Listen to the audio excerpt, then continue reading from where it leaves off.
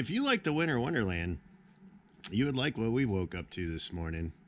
I call Michigan beautiful shades of gray in the winter, but it's very depressing and it gets old really quick. However, I'm excited for two reasons. Number one, I got to use my brand new snowblower this morning and clear the driveway. I've never used a snowblower before, so that was super exciting. Number two, I'm flying down to St. Petersburg, Florida tomorrow to go spend some time sailing in a J70. That is going to be awesome. Good morning from the St. Pete Sailing Center. I made it to Florida. It's sunny and it's a heck of a lot warmer and it's not snowing. Behind me got a J70 and this is what we're going to be uh, playing on for the next couple days. So looking forward to the sunshine. The weather is just going to get better as the week progresses and we're supposed to have five to eight knots of wind today. So it should be a beautiful, sunny, fun day. As you can see, the J70s we're sailing don't have motors on them. So after getting the boats rigged, we each took a couple turns at the helm sailing on and off the dock. You could be an excellent sailor, but if you don't have the skills to sail on and off the dock, you're not much help to your crew. So once we were done practicing that, we finally headed out to beautiful Tampa Bay for some sailing. As you can see in the background, the St. Pete Boat Show was going on the same time we were there, and they had to install extra floating docks for all the boats that came in for the show. That didn't leave a lot of room for us sailing. And again, keep in mind, we don't have a motor. We're solely at the mercy of the wind.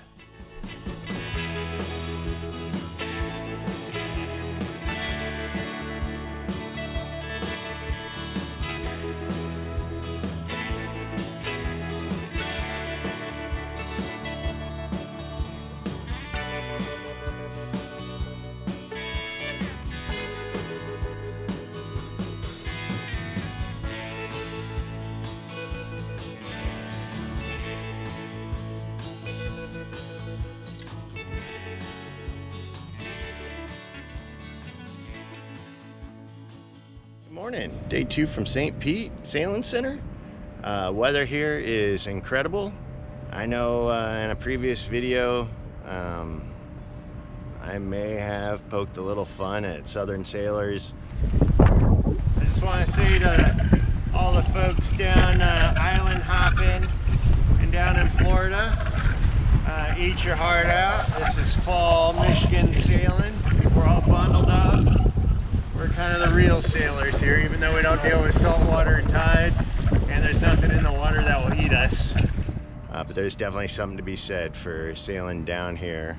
The weather is incredible. Uh, don't have to bundle up like we do up north.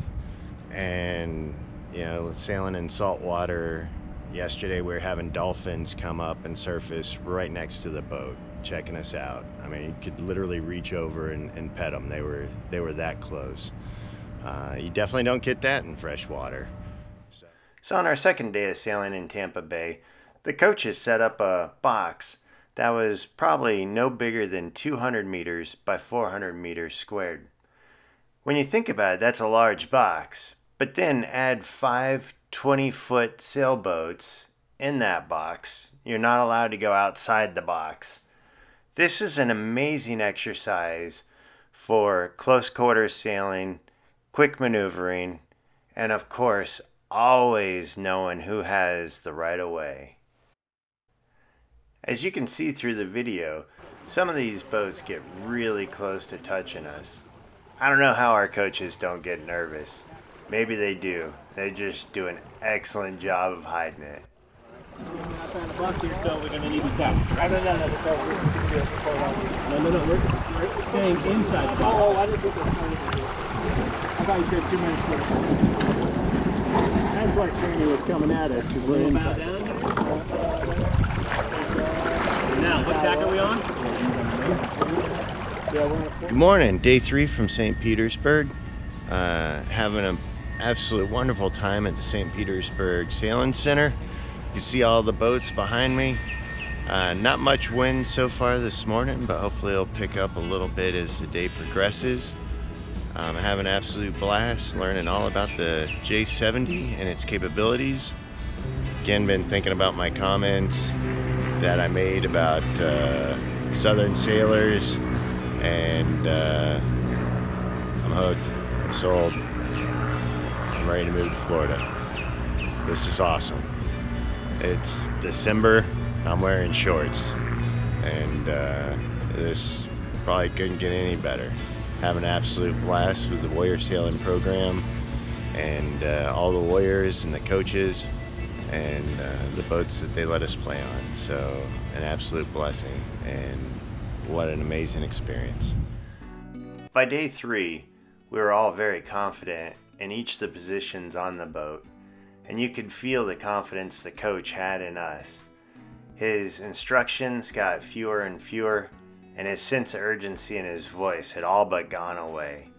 So, as we re- prepared for a poker run race on the third day, we took our time sailing out of the St. Pete Sailing Center, just enjoying the sunshine and the breeze and the camaraderie that we have built over the last three days. And then we were going to go kick some ass.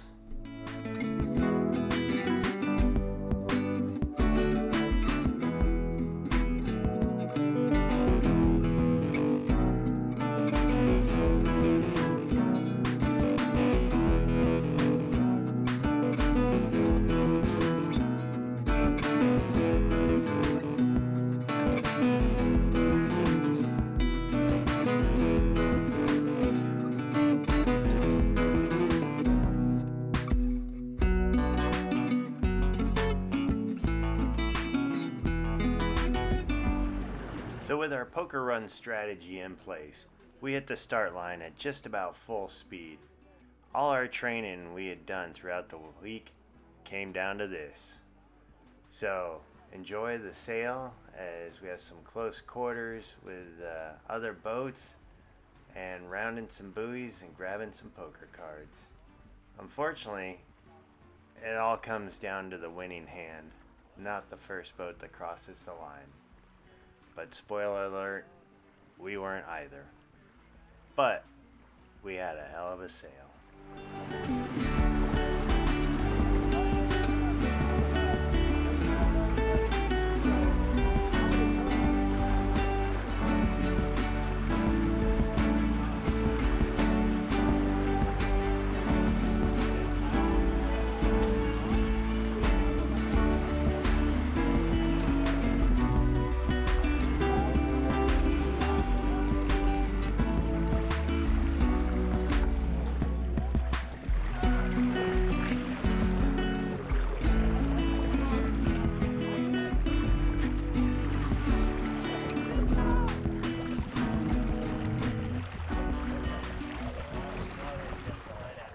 Once the poker run was over, we still had a few hours till we had to be in.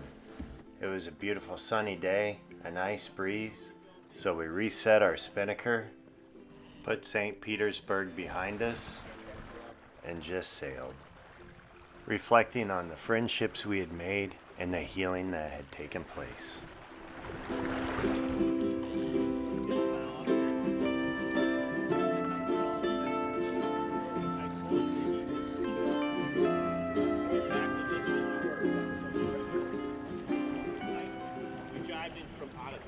Send a special thank you to the St. Petersburg Sailing Center.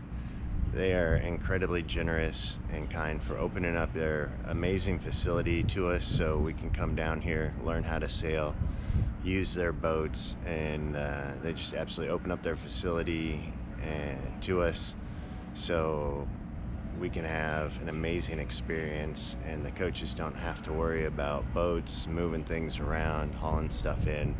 So again, special thank you to the St. Petersburg Sailing Center. If you like this video, give us a thumbs up. And if you want to continue to follow Team Julie Dan, subscribe and hit that notification link down below. And then you'll get notified every time we post a new video. All right. Thanks for watching. Hope you're having a warm, safe, wonderful day. So this morning, we woke up to all this snow.